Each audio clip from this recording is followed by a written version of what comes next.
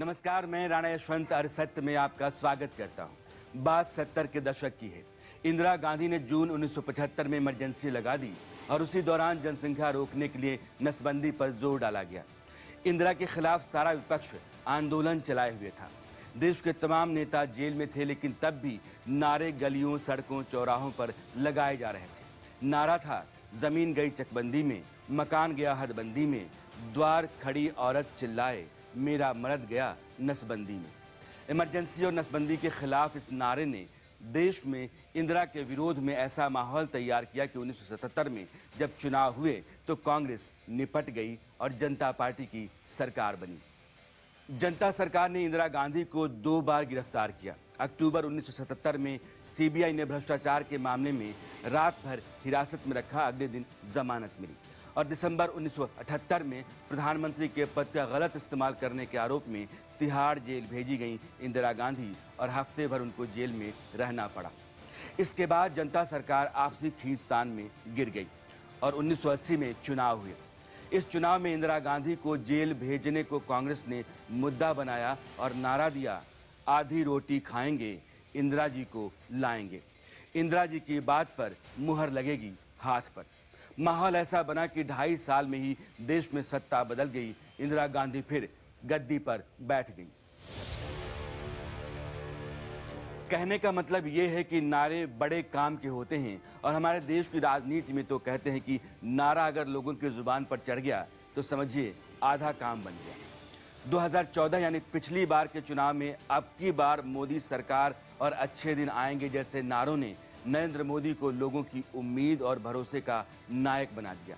नतीजा आपने देखा। दस साल से मनमोहन सिंह सरकार से उकताई जनता को अपना नेता दिख गया। आज नारों की बात मैं इसलिए कर रहा हूँ कि प्रधानमंत्री नरेंद्र मोदी ने इस बार अब एक नया नारा गढ़ा है। मैं भी चौकीदार। हाँ मैं भी चौकीदार हूँ। हाँ मैं भी चौकीदार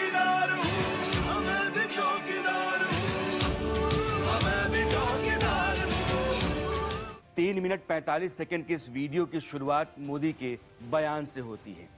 आप आश्वस्त रहिए आपका ये चौकीदार पूरी तरह से चौकन्ना है।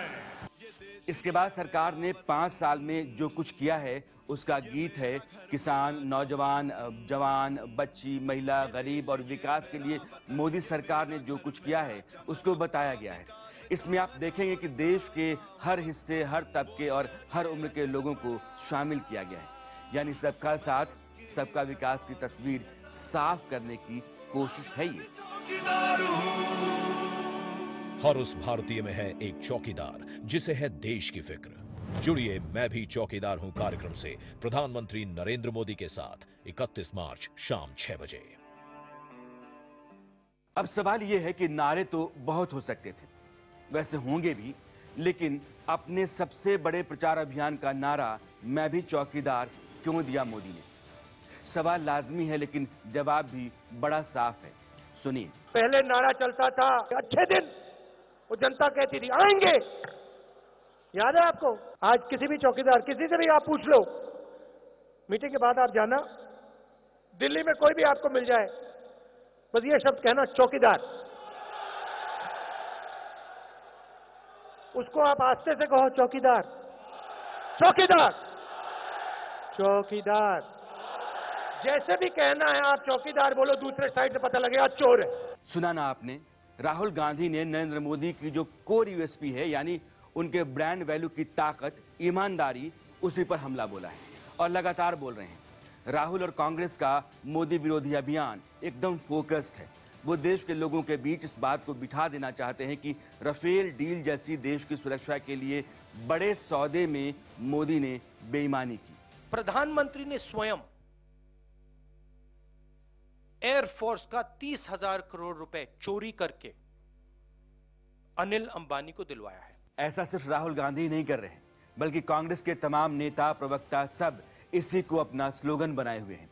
अगर ऐसा ही रहा और जवाब इस मोर्चे पर मजबूती से नहीं दिया गया तो मोदी की साख को नुकसान पहुँच सकता है? ये अंदेशा बीजेपी के रणनीतिकारों को हुआ और इसी वजह से ये तय किया गया कि राहुल गांधी और कांग्रेस का मजबूती से जवाब दिया जाए।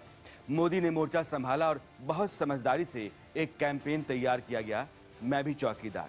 अब तो देखिए कि नरेंद्र मोदी, अमित शाह वगैरह ने अपने ट्विटर हैंडल को भी चौकीदार से जोड़ दिया है। यानी अगर जनता खुद को ही चौकीदार बोलने लगेगी तो राहुल गांधी जब पूछेंगे, चौकीदार? तो उनका जवाब